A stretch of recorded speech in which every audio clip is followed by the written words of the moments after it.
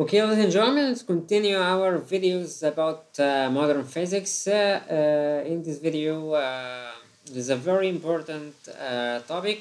Uh, it is the modern electronics. It is the applications uh, of uh, the modern physics. Okay. آه النهارده هنتكلم عن الالكترونات الحديثه واخر آه باب في ال- آه، الفيزياء كتاب الفيزياء النظري بتاعكم ده ال- طبعا هنا بيحبوا قوي يكتبوا الكلمتين دول هو يشهد العالم تقدما هائلا في مجال الالكترونات والاتصالات. إنما أنتوا بتعملوا إيه؟ ما بتعملوا ما بنعملش حاجة. بنشتري بتشتروا كل حاجة من بره. تمام؟ آه حتى إنها أصبحت السمة المميزة لهذا العصر. يعني بص ما شاء الله عارفين يعني كافة التفاصيل اللي في في الحاجات اللي إحنا مش عارفينها. آه، فقد أصبحت الإلكترونيات والاتصالات جزءا لا يتجزأ من حياتنا. مم. فالتلفزيون والتلفزيون والتليفون المحمول والكمبيوتر والأقمار الصناعية وغيرها من النظم تعد شاهدا على التقدم الهائل في استخدامات الإلكترونيات والاتصالات سواء في نقل المعلومات أو الترفيه أو الثقافة أنا أعتقد إن البلد اللي أنتوا عايشين فيها أو تسموها يعني زي ما تسموها آه، بتحب أوي تركز على الكلمة دي آه it's very important يعني إن أنت إيه تنفس عن عن الحاجات اللي بتضايقك خصوصا يعني لما بتبقى راجع من الدرس مخنوق. تمام؟ حلو قوي الكلمة دي الترفيه اللي هو الإنترتينمنت. طبعا بالنسبة لدي يعني اتاخد فيها صفر آه، قبل كده ونقل المعلومات دي ما نعرفش يعني إيه. وبالنسبة لاستخدام الالكترونيات أو اتصالات إحنا كل اللي بتعملوه أنا بقول لكم وجهة نظري يعني. آه، إن ال- الجهاز باظ. نعمل إيه؟ نوديه صيانه بس. طب قريتوا الكتالوج؟ لا. يا عم إحنا فاضيين. أوكي ما علينا. أنا بقول لكم بس يعني حاجات كده. آه، أصبحت أيضا عنصرا اساسيا في الحرب آه، الحديثة. طبعا في حاجة اسمها حرب حديثة وحرب قديمة. الحرب القديمة دي اللي هي كانت أيام الهكسوس آه، والعجلات الحربية. آه، بعد كده دخلنا في في التطور بقى الأسلحة إلى إن إحنا اكتشفنا الليزر وبعد كده آه، دخل الموضوع في حيز الذرة والمجرة والدقة اللي بتزيد كل ما الدقة بتزيد كل ما التصغير زاد. يعني تصيب حاجة من تصيب هدف مثلا من على بعد كيلو وفي ال في ال point اللي بالإحداثيات اللي هي x و y بالظبط. غير زمان يا دوبك كنت بتحدف السهم بالسهام تمام؟ آه بتصيب الهدف بقى يا تصيبه يا إما تيجي تي- تيجي على يمينه أو شماله ما في ما كانش فيه دقة قوي ولازم المسافة تكون قريبة. إنما دلوقتي لا. دلوقتي أنت بتبقى قاعد في مثلا في واشنطن أو في القاعدة ال- العسكرية بتدوس على زراير وهو- وهوب بتلاقي الايه الصاروخ مثلا اتضرب. فين؟ على العراق. على فين؟ في أفغانستان. فين؟ في حتة ما. okay طبعا مين اللي بيعمل الكلام ده؟ الناس اللي, اللي عملوا modeling للليزر اللي شغالين في الأبحاث بتاعة ال electronics ها مش اللي بيستهلكوا ال electronics اللي بيستهلكوا ال electronics دول يعني دول فئة تانية من ال... ما أعتقدش إن هم من بني آدمين.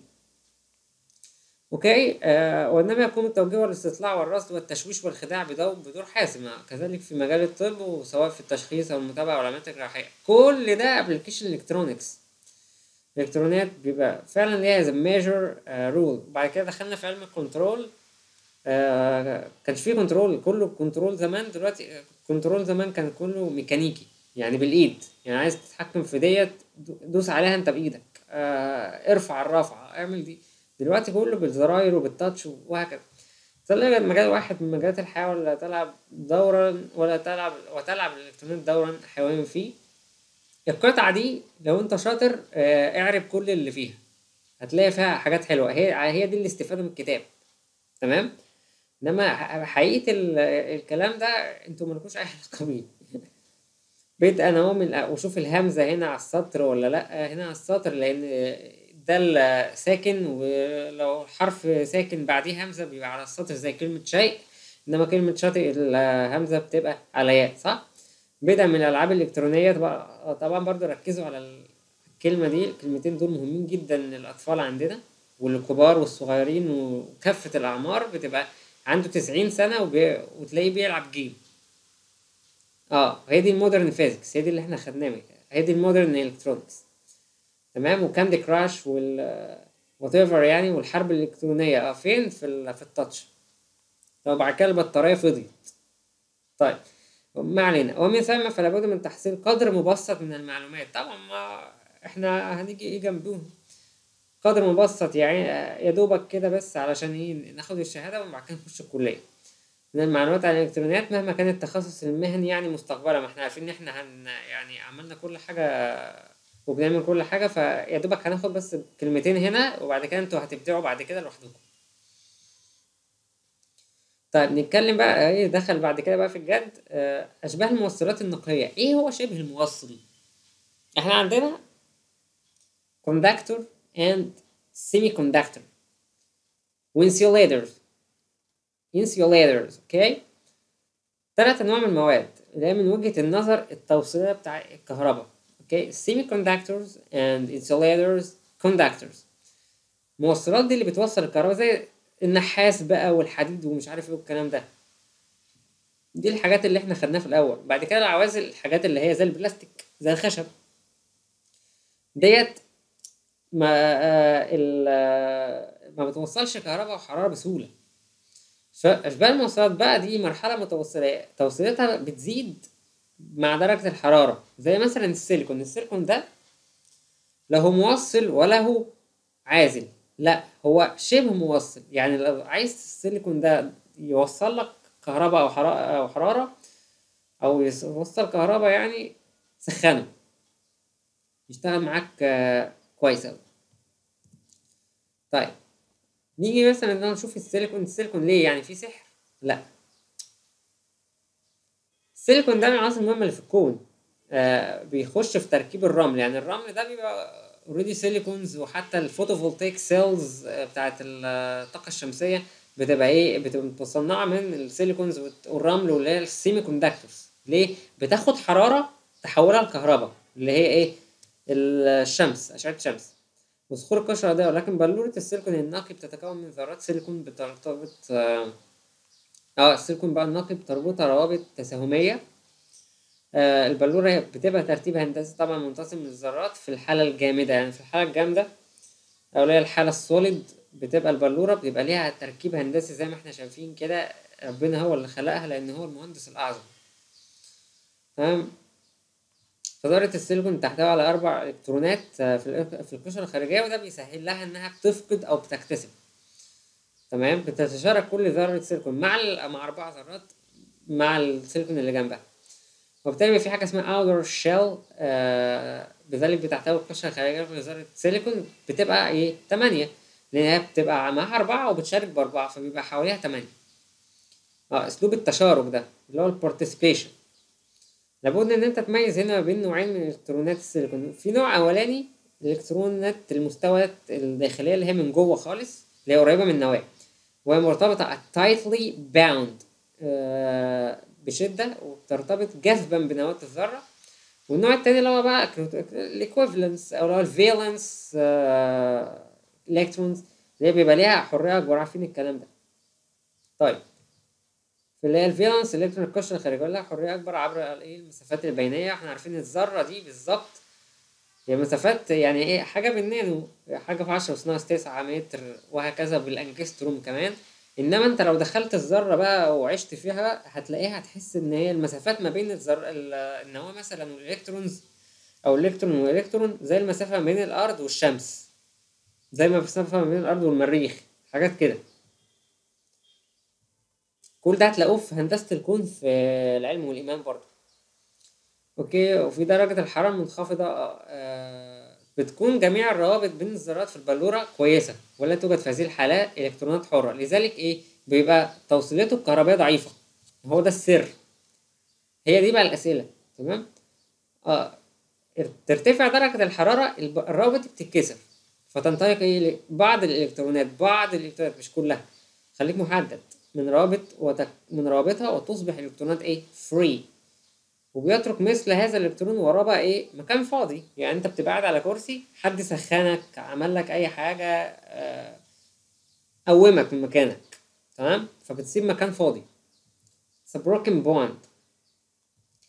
طبعا بيعبر أهو زي ما إحنا شايفين كده بالونة السيليكون في درجة الصفر المطلق. كل الروابط سليمة. الصفر المطلق اللي هو. آه، الصفر المطلق بس زيرو كيلفن تمام؟ آه بعد كده ادي الروابط التساهمية ده زي ما إحنا عارفين بترتبط كل واحدة بأربعة. هنا أهو. الكلام ده لازم ترسمه كويس ها. تمام.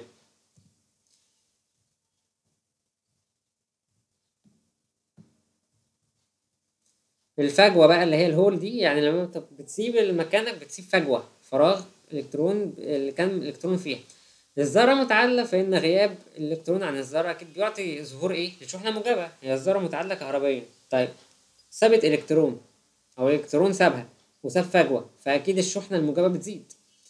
وذلك فإن الفجوة بتمثل شحنة موجبة ويلاحظ إنها إيه؟ لا نسمي الذرة التي كسرت أحد روابطها أيون ليه؟ لأن الفجوة دي بيخش فيها إلكترون آخر. يعني أنت عارفين الايونات الايون هو الإلكترون بيسيب الذرة خالص. والفجوة دي بتفضل زي ما هي.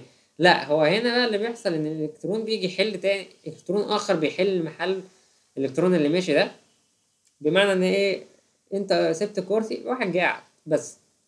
إنما الأيون واحد ساب الكرسي وسابه ومفيش حد قعد. ما أما ما أما من آه رابطة مجاورة إما من رابطة مجاورة أو من الإلكترونات الحرة. يعني في لما بيبقى في free electrons في درجة الحرارة بقى لما بتزيد أو إن أنت عندك رابطة مجاورة آه الكترون من دول بيجوا يملى الفجوة دي. فتعود الذرة برضو متعادلة كهربائيا كما كانت. بس وهكذا. الكترون حر بتاخد طاقة حرارية بيطلع بقى وهكذا هو بيرسم الكلام ده. كل ما تزيد درجة الحرارة زاد عدد الإلكترونات الحرة وعدد الفجوات. مع مراعاة إن عدد الإلكترونات الحرة لازم يساوي عدد الفجوات لأن في إلكترون حر يعني قفز من مكانه يعني ساب الكرسي. فلازم ت... أكيد في عشرة قاعدين هنا قاموا أكيد في... كان في عشر كراسي. أكيد. في حالة السيليكون النقي لا تظل هذه الزيادة مستمرة حيث إيه. بتصل البلورة الحالة بقى من الاتزان الديناميكي اللي هي اسمه ال dynamic equilibrium. آه ده تسمى الاتزان الحراري بقى اللي هو ال thermal equilibrium آه تفضل تاخد في حرارة وت- وتعمل آه، تطلع في الكترونات لحد ما تصل الاتزان. يعني لا تنكسر بقى إلى نسبة ضئيلة من الروابط بعد كده. وفيها يساوي عدد الروابط المكسورة آه في الثانية. هي بتساوي عدد الروابط اللي بيتم تكوينها في الثانية. يعني في روابط بتتكسر في روابط بتتكون. بعد كده ده في حالة الاتزان. يتبقى في النهاية هناك عدد ثابت من الإلكترونات الحرة والفجوات الحرة لكل درجة آه عند كل درجة حرارة يعني. بيبقى عندك ده قد ده. فكده في اتزان. يعني مش لسه يعني في الأول بيبقى إيه كل ما بتدي حرارة كل ما في بيبقى فيه إلكترون حر وفجوة إلكترون حر وفجوة إلكترون لحد ما بيبقى عدد الإلكترونات بيساوي عدد الفجوات. كده أنت وصلت للاتزان. خلي بالك من الحتة دي وجدولها كده وكويس. وفهم وعلى ذلك في الإلكترونات الحرة بتصل بت- بتبقى إيه النوع الثالث بقى من الإلكترونات اللي بتتحرك وهي أيضا مقيدة ولكن في حيز أكثر هو إيه يبقى الب- البلوره البلورة نفسها. تمام؟ بيحدها سطح البلوره يعني ما بيخرجش من بتخرجش من البلوره ويحتاج كسر الربط زي ما واحد قام كده من على الكرسي أو عشرة قاموا بس ما خرجوش من الأوضة. تمام؟ بيحتاج كسر ربط إحنا عارفين ان هو حاجات من الطاقة يعني إما على صورة طاقة حرارية أو ضوئية. وفي حالة الضوء بقى اللي إحنا بناخده من الشمس بيكسر الروابط بتاعة السيليكون دي بيحولها لطاقه كهربائية. أيوه recombination في حالة ال التئام الرابطة اللي هو مش recombination لا هو recombination recombination يعني ال B دي من أعتقد إنها silent هذا اسمها combination مش combination تنطلق الطاقة على شكل طاقة حرارية أو ضوئية. تمام؟ زي ما إحنا شايفين ده ده بعد ما خد حرارة أو ضوء يعني طبعا وكما بيتحرك الإلكترون حركة عشوائية تتحرك برضو الفجوات عشوائيا تمام؟ حسب آه، حركة الإلكترونات جوه الروابط دي لملء وبرضو ميل الهمزة موجودة على السطر لأن عليها سكون ها؟ خلي بالكم من الحكاية دي. ما تكتبوش في موضوع التعبير آه، حاجات ما انتوش متأكدين منها نحويا لأن بتنقص على الفاضي. خليك ناصح. من الفراغات التي تنشأ عن كسر الرابط. خلاص يبقى في الحركة عشوائية في الإلكترونز برضه نفس الحكاية حركة عشوائية في الفجوات دي. ركز على الكلام دوت لأنه مهم. طيب بعد كده بنتكلم في حاجة اسمها التطعيم. إيه هو؟ بنعمل حاجة اسمها شوائب. doping. تمام؟ أنا مش فاكر بالظبط. آه doping آه تتميز أشباه الموصلات بحساسيتها الشديدة إيه للشوائب اللي هي ال impurities وكما تتميز بحساسيتها الشديدة للحرارة يعني هي شديدة الحساسية للحرارة وال impurities بمعنى إن أنت لو جبت سيليكون وانت حطيت له بقى حاجات تانية فبيأثر فيه قوي. السيليكون المجموعة الرابعة في الجدول الدوري فإن إضافة عنصر زي الفلور مثلا الفوسفور أو الأنتيمون حاجات معينة برضو وغيره من المجموعة الخامسة. تمام؟ آه من شأنه إيه؟ آه إحلال الذرة الشائبة مكان ذرة سيليكون. هنا بتحاول ذرة الفوسفور دي إنها تكون بنفس العمل أيوه اللي كانت بيت... اللي بتقوم بيه إيه؟ ذرة السيليكون. يعني أكنه عملية إحلال. يعني دخلنا حاجة مكان حاجة بس هي قامت بدورها. أكنه عامل زي النائب بالظبط. بس أنت انشاء رابط مع الجيران ولان الذرة الشائبة بقى ما أنت دلوقتي ذرة الشوائب دي بتحتوي على خمسة في الكترونات التكافؤ. طيب بمعنى إيه؟ يعني أنت كان عندك سيليكون نقي أربعة في التكافؤ. دخلت له حاجة فيها خمسة في التكافؤ. طيب إحنا قلنا إن هو بيحل محله اكنه بيعمل إحلال بمعنى أكنك مع برضه بيعمل رابط مع الجيران صح؟ مش السيليكون بيعمل روابط اللي أنت جبته برضه صاحبه ده بيعمل روابط بس الروابط اللي هيعملها هنا بيعملها بخمسة مش بأربعة. آه الذرة الشائبة تحتوي على خمس إلكترونات لأن مجموعة من المجموعة الخامسة مش الرابعة. فأربعة منها بتشترك في الرابط وواحد بقى بيكون إلكترون حر بره الرابطة. وتكون قوى الجذب عليه ضعيفة فسرعان ما تفقده الذرة الشائبة نهائيا ويصبح إيه؟ بوزيتيف أيون وبينضم هذا الإلكترون الحر إلى رصيد البلورة من الإلكترونات الحرة. والبلورة أصبح ليها مصدر آخر كده للإلكترونات الحرة وهو ذرات الشوائب. فأنت كده كان عندك الإلكترونات حرة في الأول لما الحرارة بتزيد أو بتاخد ضوء. وهنا كمان البلورة البلورة جاية ومعها واحد هداية. البلورة أصبح لها مصدر آخر. تسمى هذه الذرة الشائبة بالذرة المعطية اللي هي ال donor في إيه؟ acceptor يبقى دي ال donor يبقى هي... ما هو في الامتحان بتسأل مين المعطي ومين اللي بياخد تمام؟ بيحصل بقى اتزان حراري بيكون مجموع الشحنة الموجبة بتساوي مجموع الشحنة السالبة دوت physics بقى ويعني تفاصيل معينة صفوها في الآخر وقال لك إن N equal P plus ND دي تركيز الأيونات. أيونات الشوائب المعطية اللي هي الدونر و N اللي هي تركيز الإلكترونات الحرة و P هو تركيز الفجوات. تعرف مين رمزه إيه عشان تبقى عارف أنت بتعمل إيه.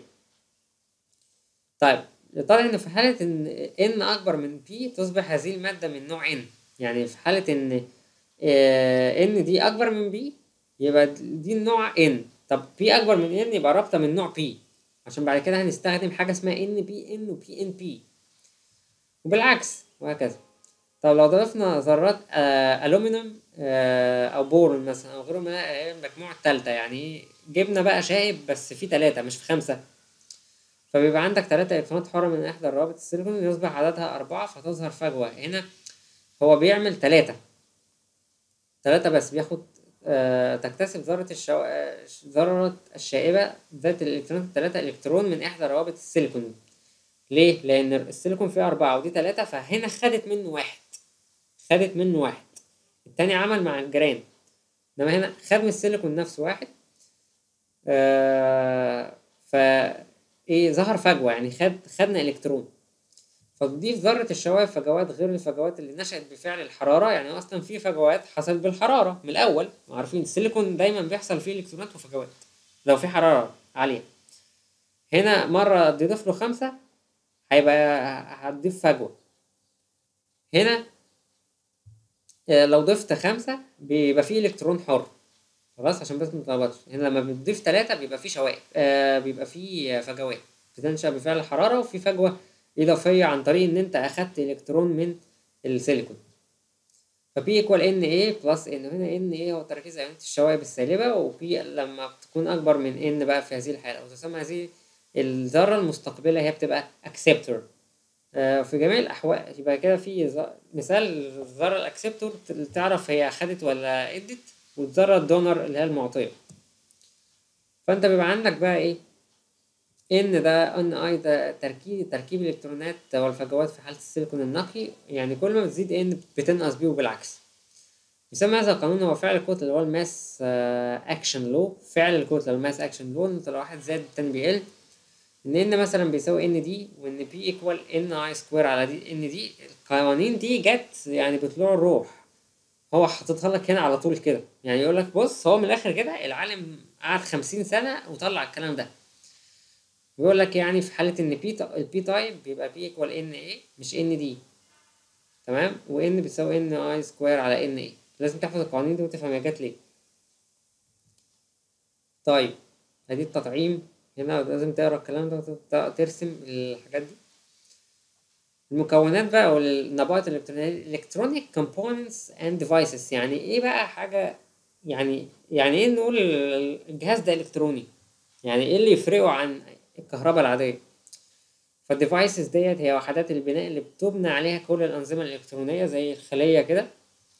بعض المكونات دي بسيطة مش زي المقاومة وال coil وال capacitor والكلام ده بعضها أكثر تعقيد بقى زي ال P N junction دايود هتسمعوا كلام هنا غريب والترانزستور بأنواعه. اليابان بعد ما اتضربت بالقنبلة سنة خمسة وأربعين قامت ما كانوش لاقيين مية. كل حاجة كانت متدمرة ومش لاقيين ياكلوا ولا يشربوا هو كان أهم حاجة إن إحنا إيه نشرب بس. يعني بعد إيه؟ بعد ما هيروشيما دي انضربت. اليابان كانت عايزة تقف تاني. أصبحت اليابان دلوقتي هي الأولى في ال robots. ال robots دي جاية منين؟ جاية من اللي إحنا بنقوله ده. إزاي؟ thinking بقى. كما توجد نبائط أخرى متخصصة. آه زي نبائط الكهربائية ونبائط التحكم في التيار اللي هي ال control of ال current الحاجات دي في غاية الأهمية. بتتميز أشباه الموصلات والتي تصنع تصنع منها أغلب النبائط بحساسيتها للعوامل المحيطة زي الضوء والحرارة بمعنى إن أنت لما تروح تشتري حاجة من من النوع دي خلي بالك وأنت ماسكها بتعرضها للضوء للحرارة لأنها ممكن تبوظ منك ضغط تلوث ذري كيميائي الحاجات دي مهمة ليه؟ لأن أنت مثلا عايز تكشف عن تلوث في منطقة ما هات الإلكترونيكس هتقولك ليه؟ هتلاقي إن اتجاهه اختلف. يعني لو حصل تغير في البيئة المحيطة الأداء بتاع المعدة دي بيختلف. فنعرف على طول إن في إيه مشكلة. وتستخدم إيه كمجسات اللي هي ال sensor. ال sensor دي مهمة جدا في القياس أي تغير مثلا في الضغط أو في درجة الحرارة يقوم باعت إشارة لكذا وكذا ده يبعته لكذا وأنت تبقى قاري على الشاشة ال digital. شفت التطور؟ كان في عجلة حربية الأول. دلوقتي لأ. دلوقتي بقى في ضرب بالليزر ومسدس آه كوسائل قياس لهذه العوامل عن طريقها يمكن قياس شدة الضوء الساقط أو درجة الحرارة تمام؟ أو الرطوبة أو التلوث الكيميائي والإشعاع الذري وغيرها. فده يقول لك هو إيه اللي إحنا استفدناه من النبائض الالكترونيه وبتعمل إيه؟ الأسئلة بتيجي بالشكل ده. طبعا الوصلة الثنائية اللي هي البي ان دي بتكون الوصلة الثنائية زي ما إحنا شايفين كده اللي هي ال P N دي. من جزئية واحدة من النوع N type والتانية من ال P type فلقينا P N P type و N type وبتبقى في الحالة في فجوات في P type وهي ذات تركيز عالي وبتنتشر إلى المنطقة N type تركيز الفجوات بيكون فيها قليل في حتة بيبقى التركيز فيها عالي وفي التانية بيكون فيها التركيز إيه قليل. تمام. فلازم تعرف مين التركيز العالي والقليل بينشأ تيار انتشار بيدفع الفجوات من منطقة B إلى المنطقة N وتيار يدفع الإلكترونات من منطقة N للمنطقة B ولما كانت كل منطقة على حدة متعادلة لأن هي كل منطقة متعادلة لوحدها. زي ليه؟ بسبب تعادل الشحنات الموجبة والشحنات السالبة في كل منطقة على حدة يعني كل منطقة فيهم متعادلين أصلا. خلاص؟ بس بيحصل اندفاع للتيار من يمين هنا لهنا ومن هنا لهنا. طيب هجرة الإلكترونات من منطقة N type؟ من شأنه أن يكشف جزء من الأيونات الموجبة لأن أنت هت...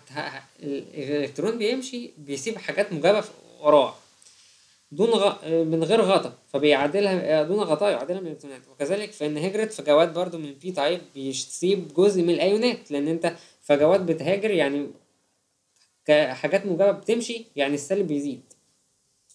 فبيكشف برضو جزء من الأيونات السالبة من غير غطا. من غير غطا يعادلها يعني. آه من غير ما تسيب حاجة يعني. يعادلها من الفجوات. وتنتج عن ذلك إيه؟ منطقة خالية من الإلكترونات والفجوات. بيكون فيها أيونات موجبة في ناحية وأيونات سالبة في ناحية تانية. هي دي المنطقة الفاصلة اللي هي اسمها transition region أو المنطقة القاحلة اللي هي depletion مش دي بينشأ عنها في هذه المنطقة إيه؟ مجال كهربي بقى. ليه؟ لأن أنت عندك ده انتقل من هنا لهنا وساب وراه مثلا فجوات وده أو شحنات موجبة والتاني آه انتقل من هنا لهنا. فحصل positive و negative وبالتالي التيار مشي. وحصل عن دوت إيه؟ منطقة خالية. ليه؟ لأن كل واحد ساب منطقة والتاني ساب منطقة فالحتة دي اتسابت وبقى في موجب وسالب فدي منطقة سالبة ففي هذه المنطقة مجال كهربي بينتو يتجه من الأيونات الموجبة للأيونات السالبة بالفعل ويتسبب في دفع تيار بسبب اللي هو الايه drift current في الاتجاه تمام؟ أهو. اتجاه عكس التيار ال- الانتشاري يبقى دلوقتي ال- ال drift current دوت بيبقى عكس تيار الانتشار. تيار الانتشار دوت بينتج آه عن إيه؟ دوت اللي هو بيجي من فوق اللي إحنا الجزء اللي إحنا قلنا عليه بيحصل تيار الانتشار خلاص؟ يبقى في تيارين. في تيار انتشار التيار التاني بقى اللي هو إيه؟ التيار اللي هو التيار الانسيابي اللي هو ال drift current بس أنت مجرد تشرح القصة هنا كان في كذا وسابوا وسابوا المنطقة وهنا كان في كذا سابوا المنطقة فجت جزء في النص اسمه المنطقة القاحلة وده نتج آه طبعا بسبب ينشأ تيار انتشار بيدفع الفجوات من المنطقة P إلى المنطقة N والتاني بيدفع آه الإلكترونات من المنطقة N للمنطقة P ده الانتشار. التاني بقى اللي هو الانسيابي ده بيمشي عكس اتجاه التيار الانتشار في حالة الاتزان بيتزن التيار في الاتجاه الأمامي مع التيار مع التيار في الاتجاه العكسي. إيه ده؟ في حالة الاتزان بيتزن التيار في الاتجاه الأمامي اللي هو الفورورد مع التيار في الاتجاه العكسي. لتكون المحصلة صفر. بمعنى إن هو في هنا جزء هو مش مفصلينه قوي. المهم إن هو بيبقى فيه إيه؟ دي المنطقة الفاصلة وبيبقى فيه حالة من الاتزان هنا بيبقى التيار بيتزن في الاتجاه اللي هو الاتجاه الأمامي مع التيار في الاتجاه ال- العكسي اللي هو ال backward. فبيكون في هنا محصلة صفر بمعنى إن إيه مفيش gain تمام؟ هو مش مفصلين أوي الجزء ده. فتبقى لو عايز تستز- تستزيد لازم تدور على الجزء ده بقى بتفصيل. طبقا آه، فطبعا إحنا طبقنا جهد خارجي آه، بحيث يكون الطرف P مثلا متصل متصل بالطرف الموجب للبطارية. يعني أنت جبت بقى بطارية على الجزء ده وانت موصل بيه جزء موجب والتاني والطرف التاني إيه؟ والطرف إن ده متصل بالطرف السالب فان المجال الناشئ عن البطارية إيه؟ بيكون عكس اتجاه المكان المجال الداخلي. أو في المنطقة الانتقالية فبيضعفه. بمعنى إن أنت هنا بيحصل إن بيحصل عملية الاتزان اللي إحنا قلنا عليها دي وبيبقى في منطقة فيها فجوة وفي تيار أمامي و ده اللي إحنا شفناه ده. قبل كده؟ آه آه، اللي هو تيار انتشار وفي حالة الاتزان بيتزن التيار في الاتجاه الأمامي مع التيار في الاتجاه العكسي. طب لو جبنا بطارية لو جبنا بقى بطارية ووصلناها بالموجب والسالب فإيه؟ بينشأ آه تيار آه بيكون عكس اتجاه المجال الداخلي في المنطقة الانتقالية. وبالتالي أكنه هو إيه؟ بيعكسه. أكن البطارية دي جاية تضعف أكتر اللي حصل جوه أو ماشية عكس ال- اللي حصل جوه. أما لو عكسنا اتجاه فرق الجهد فإن المجالات بيكونوا في نفس الاتجاه صح؟ ومعنى ذلك إن في الاتجاه الأول اللي هو الأمامي بيسمح بمرور تيار ويكون التوصيل في هذه الحالة توصيل أمامي بمعنى إن البطارية دي لو أنت عكستها يبقى التيار اللي ماشي من البطارية وداخل جوه ال- الجزء اللي أنت شغال فيه ده اللي هو من السيمي كوندكتورز التيارين كده ماشيين مع بعض فكده بيبقى حاجة اسمها forward بس forward connection وهنا بيسموها forward connection آه دي البطارية بالفعل اللي هم جابوها. ادي الجزء اللي فيه فجوة فيه اللي هي المنطقة القاحلة والكلام دوت. ده بعد كده لما إحنا آه، هنا حركة الإلكترونات والفجوات نتيجة إيه؟ فرق الجهد الخارجي بالفعل. بتمشي بقى ال- الإلكترونات في الجزء ده. يكون بي متصل حيث يكون بي متصل بالطرف الموجب وان متصل بالطرف السالب للبطارية. فخلي بالك إن إحنا عكسنا الأقطاب دلوقتي فبقى إيه؟ forward إنما ال reverse bias اللي هو بيكون بي متوصل بالطرف السالب وان متصل بالطرف الموجب للبطارية بيكون متوصل ثنائيه بتبقى إيه؟ بتوصل التيار بسهولة في اتجاه وبتمنعه تقريبا في الاتجاه العكسي. يبقى كده أنت عندك ال forward بيمشي التيار زي ما إحنا عارفين كده في الاتجاه اللي هو إيه؟ الأمامي ده بيسمح مرور تيار. فيبقى forward connection بعد كده في توصيل عكسي يعني بتعكس ال- البطارية تاني. خلاص؟ فبيكون في إيه؟ بتمشي عكس ال- الاتجاه ده فبيكون الوصلة دي بتبقى بتوصل آه، التيار بسهولة في اتجاه وبتمنعه في تقريبا في الاتجاه ال- العكسي دوت. لما بتجيب البطارية بيبقى في positive و negative على حسب الأقطاب اللي أنت بتعملها يا إما تجيب آه واحد forward يا إما تجيبه آه عكسي. واحد بيمنع ال- التيار إن هو يتحرك والتاني بي بيعمل تيار كويس. تمام؟ طيب هي عملت إيه؟ عملت عمل الوصلة بمفتاح لو يكون المفتاح مغلق في الاتجاه الأمامي للجهد يعني إيه بقى؟ مش فاكر المفتاح اللي هو ال- ال- العادي ده اللي هو كان في ال في ال parallel وال series والتوازي والتوالي لا هنا بقى دلوقتي المفتاح بقى إلكتروني. بمعنى أنت دلوقتي تقدر تستفيد من ال forward bias وال backward bias أو reverse في حالة الفورد بيمر, بيمر تيار لأن بيبقى ماشي في نفس الاتجاه التيار اللي جواني اللي هو التيار الداخلي. فبيبقى إيه؟ في تيار كويس. لو عكست أقطاب البطارية دايرة تقفل. أو ما آه آسف الدايرة ما تقفلش. الدايرة كأنها إيه؟ مقفوقة مفتوحة. مفيش تيار. ليه؟ لأن فيها حاجة عكس حاجة. خلاص فهمت؟ فإحنا نقدر نستخدم الحكاية دي في إن أنت تفتح النور أو تقفل النور عن طريق إن أنت تعكس الأقطاب. مش مش زي بقى المفتاح اللي هو بالإيد لأ دي حاجة تانية. هو فرق جهد أمامي فرق جهد عكس. فرق جهد أمامي بيطلع تيار أهو كبير قوي. طالع لفوق بس بالملي امب إنما فرق جهد فرق الجهد العكسي يعني عكست القطبين بتوع البطارية اللي أنت جايبها مفيش تيار خلاص لازم تعرف الحاجات دي. تمام فمفتوح يعني البطارية أو الدايرة بتكون مفتوحة في الاتجاه العكسي. يعني دايرة مفتوحة مفيش تيار كهربي. دايرة مقفولة في اتجاه تاني. يمكن التأكد من سلامة الوصلة الثنائية باستخدام أوميتر. بالفعل عشان نعرف هو في تيار ماشي ولا يجب أن يعطي مقاومة صغيرة جدا في اتجاه اتجاه ومقاومة عالية جدا في الاتجاه العكسي. بمعنى إن أنت في الاتجاه الأمامي اللي هو بيمر فيه تيار زي الفل وهنا بنستخدمه كمفتاح ويبقى فيه تيار عادي المقاومة بتكون بسيطة. يعني التيار ماشي إنما في الاتجاه العكسي يعني مفيش تيار يعني في مقاومة. ليه؟ لأن في حاجة بتعكسنا يبقى المقاومة هنا عالية وبالتالي ال ohmmeter هنا بيثبت فعلا إن هو يقدر يكشف عن إيه ال- اللي حصل هنا. هل هي سليمة ولا لأ؟ هذا السلوك بيختلف تماما عن المقاومة الكهربيه والتي توصل التيار بنفس القيمة إذا انعكست اتجاه التيار في حالة. آه المقاومة اللي هي ال resistance القديمة دي بتاعت التوازي والتوالي ديت انت مهما تعكس في اتجاه البطارية ولا يفرق معانا. هل أنا كنت قلت لك التيار ماشي هنا من هنا ولا من هنا ولو عكسنا البطارية ال- التيار مش هيمشي؟ لا التيار بيمشي في الدايرة العادية.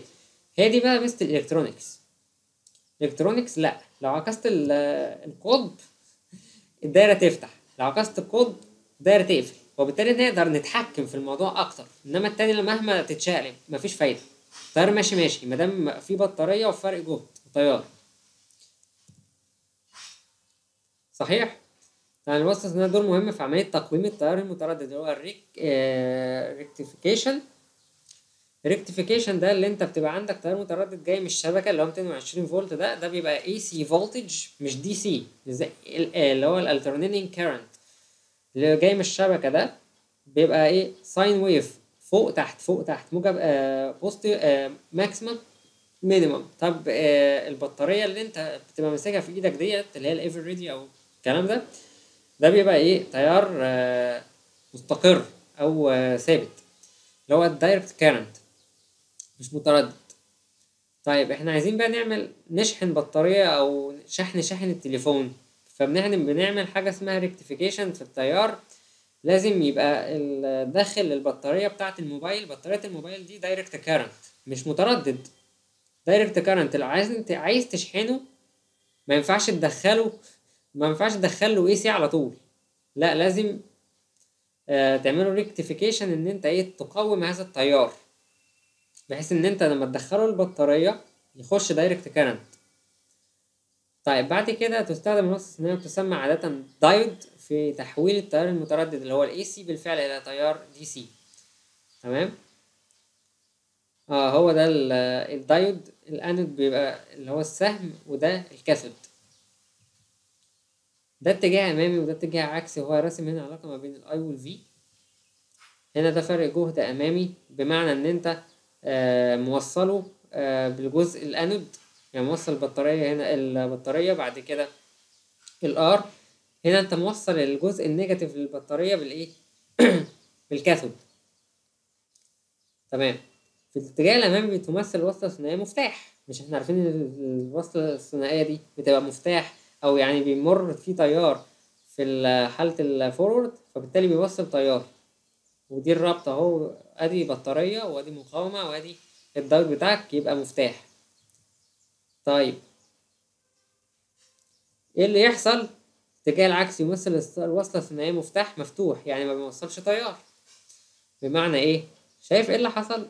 عكسنا اتجاه البطارية يا معلم. اهو ال positive بقى إيه؟ مكان ال negative. ولا كأنه شايفك. أكن البطارية مفتوحة أكن الوصلة اتفتحت. أو كده أكنك فتحت المفتاح. فاكر فتح المفتاح وقفل المفتاح؟ هنا بقى بال electronics مش محتاجين نجيب مفتاح نفتحه ونقفله لأ. الدايت بيبقى زي ما هو بنفس اتجاهه بس يعكس قطبين البطارية. ولا من شاف ولا من دري هي دي اللي okay؟ هنقف لحد كده النهارده وبعد كده نكمل بعد.